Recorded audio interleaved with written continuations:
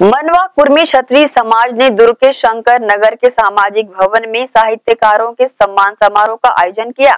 इस अवसर पर पहुँचे अतिथियों द्वारा डॉक्टर खूबचंद बघेल को याद कर उनके जीवन पर प्रकाश डाला गया। छत्तीसगढ़ मनवा कुर्मी छत्री समाज की दुर्ग इकाई के द्वारा समाज के भवन में सम्मान समारोह का आयोजन किया गया, जहाँ बतौर मुख्य अतिथि के रूप में छत्तीसगढ़ शाकंभरी बोर्ड के अध्यक्ष राम कुमार पटेल राज प्रधान दुलारी वर्मा, बालोद विधायक संगीता सिन्हा, वरिष्ठ साहित्यकार परदेसी राम वर्मा, अजय चौहान व विनोद सेन, किरण वर्मा के साथ छत्तीसगढ़ के मशहूर संगीतकार के के पाटिल उपस्थित हुए, जिनकी उपस्थिति में साहित्यकार सुधीर शर्मा को डॉक्टर खूबचंद सम्मान से सम्मानित किया गया।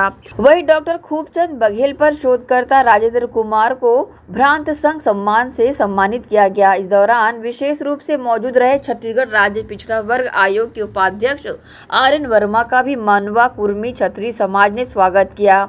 इस मौके पर भ्रांत संघ के अध्यक्ष तेज बहादुर बंछोर व व छत्तीसगढ़ राज्य पिछड़ा वर्ग आयोग के उपाध्यक्ष आर एन वर्मा ने कहा कि सम्मान समारोह के माध्यम से उपस्थित जनों को डॉक्टर खूबचंद बघेल के व्यक्तित्व से परिचित कराने का प्रयास किया जा रहा है, ताकि उनके व्यक्तित्व का वंदन व अनुसरण किया जा सके। इस संबंध में न्यूज़ टीम को आए हुए अतिथियों ने अपनी प्रतिक्रिया दी। छत्तीसगढ़ राज्य के निर्माण की स्वप्न दृष्टा हम सबके आदर्श। हमारे बुधा डॉक्टर साहब खूबचंद बघेल जी का आज जयंती मनाने के लिए हमारे इस छात्रावास में हम सब एकत्रित हुए हैं और ये जो कार्यक्रम मनाया जा रहा है, कुर्मी समाज के दुर्ग शहर की इकाई एवं भातृ संघ के तत्वाधान में ये कार्यक्रम मनाया जा रहा है। हम सब आज उनके व्यक्तित्व और कृतित्व का वंदन करने के लिए और उनका अनुकरण करने के लिए, उनका अनुसरण करने के लिए हम सब यहाँ पर शपथ लेंगे और उनने जो भी मतलब मार्गदर्शन दिए हैं कि हमें किस प्रकार से स्वावलंबी बनना है प्रकार से हमारी सभ्यता और संस्कृति को आगे बढ़ाना है। इसका हम सब आज यहाँ पर सामूहिक रूप से संकल्प लेंगे। बहुत ही खुशी की बात है कि जो रास्ता डॉक्टर भूचंद बघेल जी ने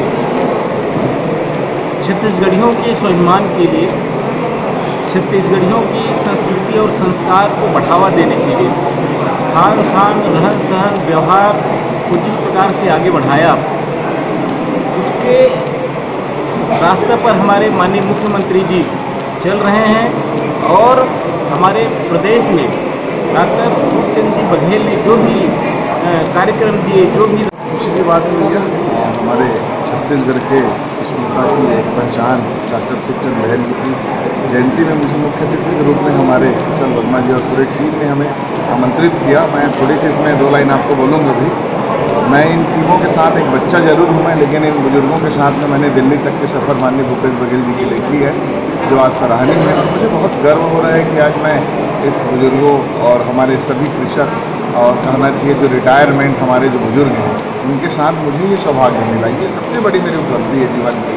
और साथ ही साथ वास्तव में एक देखेंगे, एक पुस्तक बनी हुई है। उस पुस्तक में छत्तीसगढ़ के पूरे हमारे नौ या दस वास्तव में जो देशी हैं हमारे उनका उसमें फ़ोटो छपा हुआ है। तो हमारी राज्य की संस्कृति, हमारी खुद की संस्कृति को बढ़ावा देने के लिए जिस प्रकार से डॉक्टर साहब ने संघर्ष किया, उसी प्रकार से हमारे और जो दस अन्य नेता जो आज उस फ़ोटो में, छायाचित्र में दिख रहे हैं, निश्चित रूप से हर समाज, हर गाँव, हर व्यक्ति को इस विकास करना चाहिए।